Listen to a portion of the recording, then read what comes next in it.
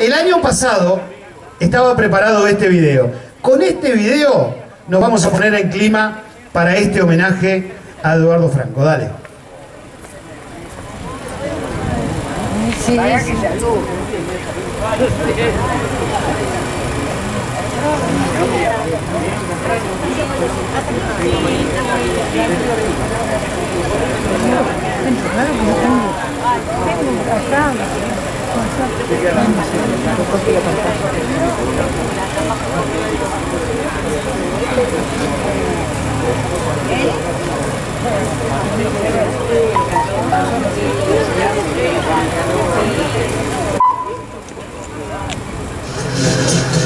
Eduardo Franco Sanier nació en Paysandú el 15 de marzo de 1945, en la casa de sus abuelos paternos, Francisca Ojeda y Francisco Sanier, en calle Independencia y Charrugas.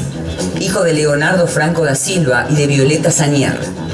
La niñez de Eduardo transcurrió en Tambores, donde sus padres tenían un almacén de ramos generales, y en una estancia propiedad de sus abuelos paternos, Leonardo Franco y Cecilia Collares. Desde pequeño mostró su gusto por el canto se cuenta que era habitual que simulara un micrófono con un palo de escoba y comenzara a cantar.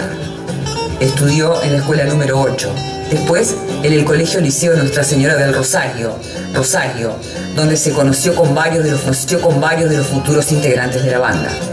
Ya adolescente, ya adolescente, pasó al liceo departamental.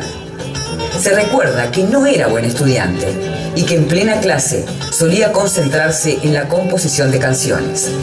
En esa época recibió algunas observaciones que le alertaban sobre, la, alertaban sobre la conveniencia de que estudiara, dado que con la música no tendría futuro.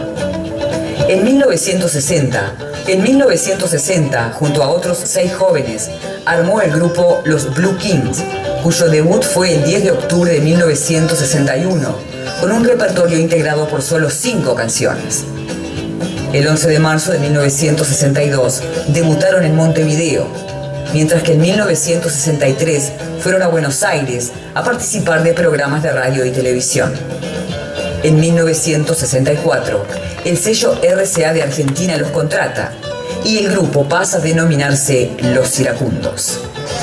A, a principios de 1966 conoce a Dana, en los estudios de la discográfica, donde ella trabajaba en la sección editorial discográfica. El 27 de septiembre de ese mismo año, Dana y Eduardo se casaron en Buenos Aires, casaron en Buenos Aires, casaron en Buenos Aires, casaron en Buenos Aires. Un mes más tarde, el grupo viajó a Europa. En la RCA italiana grabaron el disco Los Iracundos en Roma.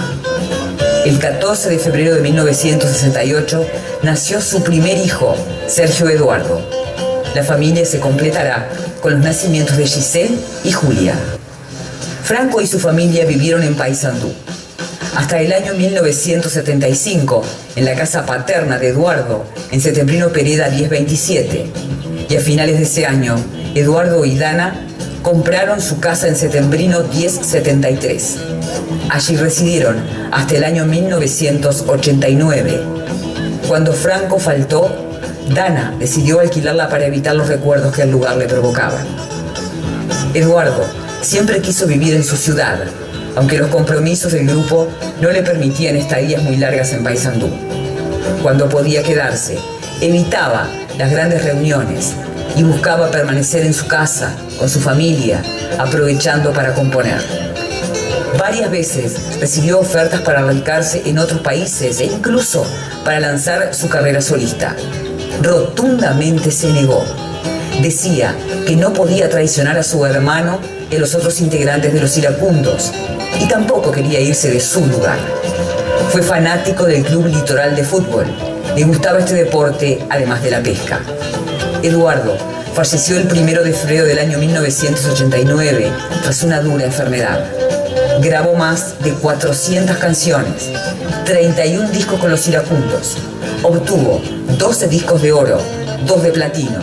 Intervino en varias películas. Actuó en más de 30 países, dejando muy en alto el honor de su querido Paysandú.